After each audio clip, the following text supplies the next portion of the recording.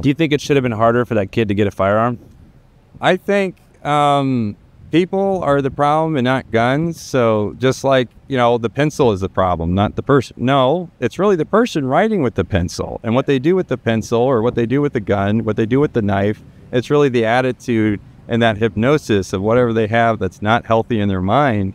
That's really what's causing this motive. And with social media today, people get bullied online through Facebook. Oh, I posted a humiliation photo of you, and all of a sudden they get this like resentment. I didn't have any interaction with him, but he was a kid that was always alone. He was always bullied. I mean, he would sit alone at lunch. I mean, he was just an outcast, and you know how kids are nowadays. Back when you were in school, did you ever experience bullying before? Absolutely. Yeah. From grade school all the way through uh, junior high, they make fun of your clothes. Yeah.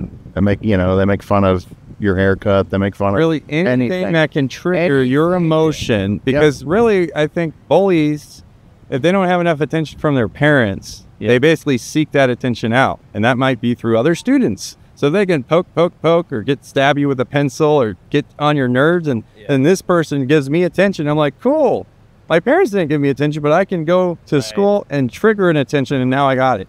And that's what they seek out. So you feel like they have these unmet needs in the household, and then they, where they're not getting attention, they go to school, and even if it's negative attention, they still feel like they have control over somebody.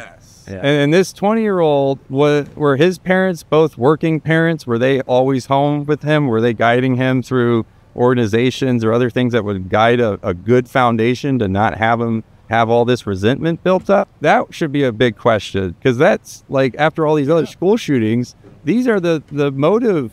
And you know the big the big question is, this is America.